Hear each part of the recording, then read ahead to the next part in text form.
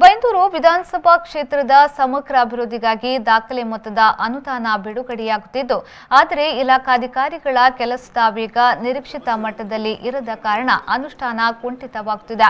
ಕಂದಾಯ ಇಲಾಖೆಯಲ್ಲಿ ಹಣ ನೀಡದೆ ಕೆಲಸ ಆಗುವುದಿಲ್ಲ. ಅಧಿಕಾರಿಗಳು ಈ ಪ್ರವೃತ್ತಿಯಿಂದ ಹೊರಬರಬೇಕು ಎಂದು ಸಂಸದ ಬಿವೈ ರಾಘವೇಂದ್ರ ಹೇಳಿದರು. ಅವರು ಬೈಂದೂರಿನಲ್ಲಿ ವಿವಿಧ ಇಲಾಖೆಗಳ ಪ್ರಗತಿ ಪರಿಶೀಲನಾ ಸಭೆಯಲ್ಲಿ ಮಾತನಾಡಿ ಅಧಿಕಾರಿಗಳನ್ನ ತೀವ್ರ ತರಾಟೆಗೆ ತೆಗೆದುಕೊಂಡರು. ಜವಳಿ ಪಾರ್ಕ್ ಪೀಠೋಪಕರಣ ತಯಾರಿ ಸಂಕೀರ್ಣ, ಕ್ರೀಡಾ ಸಂಕೀರ್ಣ, ನ್ಯಾಯಾಲಯ, ಕ್ರೀಡಾಂಗಣ, ವಸತಿ ಶಾಲೆಗಳಿಗೆ ಜಮೀನು ಗುರುತಿಸಬೇಕು.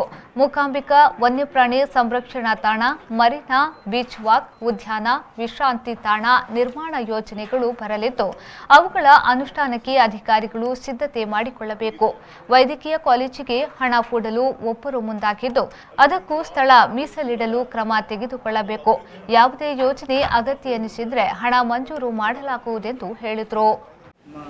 ಟ್ರಿಬ್ಯುನಲ್ ಗ್ರ್ಯಾಂಡ್ ಆಗಿ ಹೋಗಿದೆ. ಆ ಇಪ್ಪತ್ತು ಸೆನ್ಸ್ ಯಾರಿಗೆ ತೆಗಿಬೇಕು ಅಂತ ಹೇಳಿ ನಮಗೆ ದಾಖಲೆದಲ್ಲಿ ಸಿಗುವುದಿಲ್ಲ ಯಾರು ಕಡಿಮೆ ಆಗಬೇಕು ಅಂತೇಳಿ ಅವಾಗ ನಾವು ಅಳತೆ ಮಾಡಿ ವಹಿವಾಟಿ ಪ್ರಕಾರ ಇವನಿಗೆ ಕಡಿಮೆ ಮಾಡಬೇಕು ಅಂತ ಹೇಳಿದ್ರೆ ನಾವು ಎ ಸಿ ಅವರಿಗೆ ಟ್ರಿಬ್ಯುನಲ್ ಕಳಿಸಿ ಅದನ್ನು ಇಪ್ಪತ್ತು ಸೆನ್ಸನ್ನು ತೆಗಿಬೋದು. ಇಲ್ಲಾಂದ್ರೆ ನಾವು ಒಪ್ಪಿಗೆ ಕೊಡಿ ಅಂತ ಹೇಳಿದ್ರೆ ಒಬ್ಬರು ಒಪ್ಪಿಗೆ ಕೊಡೋದಿಲ್ಲ ಯಾಕಂದ್ರೆ ನಮ್ಮಲ್ಲಿ ಈಗ ಒಪ್ಪಿಗೆ ಕೊಟ್ಟರು ಕೂಡ ಮಾಡೋಕ್ಕಾಗೋದಿಲ್ಲ. ಅಲ್ಲ ಮಾಡೋಕ್ಕಾಗೋದಿಲ್ಲ.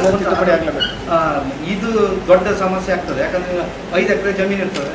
ಆರು ಎಕರೆ ಗ್ರ್ಯಾಂಟ್ ಆಗಿ ಹೋಗಿದೆ ಯಾರಿಗಾಗಿದೆ ಏನು ಅಂತ ಹೇಳಿ ಇದಾಗಲ್ಲ ಒಂದು ಎಕರೆ ಕಡಿಮೆ ಮಾಡಬೇಕು.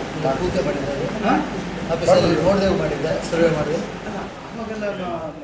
ಅಧಿಕಾರಿಗಳು ಕಂದಾಯ ಇಲಾಖೆಯಲ್ಲಿ ತೊಂಬತ್ನಾಲ್ಕು ಸಿ ಜಮೀನು ಮಂಜೂರಾತಿ ಪ್ರಕ್ರಿಯೆ ಅಂತಿಮ ಹಂತದಲ್ಲಿದೆ.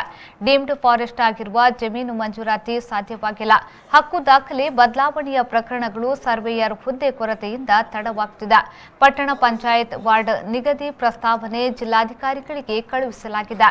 ನ್ಯಾಯಾಲಯ, ಆಸ್ಪತ್ರೆ, ಪಾಲಿಟೆಕ್ನಿಕ್, ಜಾನುವಾರು ಆಸ್ಪತ್ರೆಗಳಿಗೆ ಜಮೀನು ಕಾದಿರಿಸಿರುವ ಪ್ರಕ್ರಿಯೆ ವಿವಿಧ ಹಂತಗಳಲ್ಲಿವೆ. ಕೊಡೇರಿ ಬಂದರಿನ ಪ್ರಾಂಗಣ ಕೆಲಸ ನಡೆಯುತ್ತಿದೆ. ರಸ್ತೆಗಳಿಗೆ ಮಂಜೂರಾಗಿರುವ ಅನುದಾನ ಬಳಕೆಗೆ ಅಂದಾಜು ಪಟ್ಟಿ ತಯಾರಿಸಲಾಗುತ್ತಿದೆ ಮರವಂತೆ ಬಂದರು ಎರಡನೇ ಹಂತದ ಕಾಮಗಾರಿಗೆ ಟೆಂಡರ್ ಆಗಿದೆ ಎಂದು ಹೇಳಿದರು.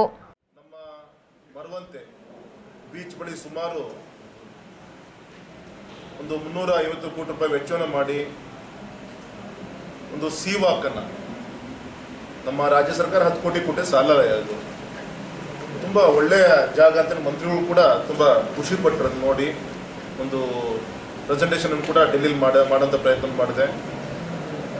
ಒಂದು ಪ್ರಪೋಸಲ್ನ ಸಬ್ಮಿಟ್ ಮಾಡಿದ್ದೀನಿ.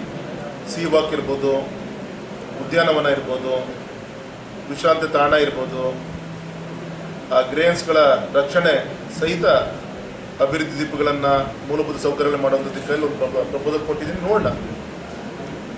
ಎಷ್ಟಾಗುತ್ತೆ ಅಷ್ಟು ತರುವಂಥ ಪ್ರಯತ್ನವನ್ನು ಮಾಡ್ತಾ ಇದ್ದೀವಿ. ಅದೇ ರೀತಿ ಹಡಗು ಮತ್ತು ಬಂದರು ಇಲಾಖೆಗೆ ಸುಮಾರು ಒಂದು ಇನ್ನೂರು ಕೋಟಿ ವೆಚ್ಚದಲ್ಲಿ ಮರೀನಾ ಹಾಗೂ ಮತ್ತೆ ಸೀಪ್ ಪ್ಲೈನ್ ಯೋಜನೆಗೆ ಒಂದು ಪ್ರಪೋಸಲ್ನ ಸಬ್ಮಿಟ್ ಮಾಡುವಂಥ ಪ್ರಯತ್ನವನ್ನು ಮಾಡಿದ್ದೀವಿ. ಅದೇ ರೀತಿ ಫಾರೆಸ್ಟ್ ಮಿನಿಸ್ಟ್ರನ್ನ ಭೂಪೇಂದ್ರ ಯಾದವ್ ಅವರನ್ನ ಭೇಟಿ ಮಾಡಿ ಮೂಕಾಂಬಿಕಾ ಅಭಿಯಾನದಲ್ಲಿ ವನ್ಯಜೀವಿ ರಕ್ಷಣಾ ಕೇಂದ್ರ ಸಹಿತ ಮೃಗಾಲಯ ನಿರ್ಮಾಣ. ಸಾಕಷ್ಟು ಫಾರೆಸ್ಟ್ ಇದೆ ರೆಸ್ಕ್ಯೂ ಸೆಂಟರು ಮಾಡಬೇಕು. ಅದನ್ನೇ ಝೂ ಆಗಿ ಕೂಡ ಪರಿವರ್ತನೆ ಮಾಡಬೇಕು ಅಂತ ಅದೊಂದು ರಿಕ್ವೆಸ್ಟ್ ಮಾಡಿದ್ದೀನಿ. ಶಾಸಕ ಬಿಎಂ ಸುಕುಮಾರ್ ಶೆಟ್ಟಿಯವರು ಮಾತನಾಡಿ, ಅಧಿಕಾರಿಗಳು ಜನರ ಸಮಸ್ಯೆಗಳಿಗೆ ಶೀಘ್ರ ಸ್ಪಂದಿಸಬೇಕು.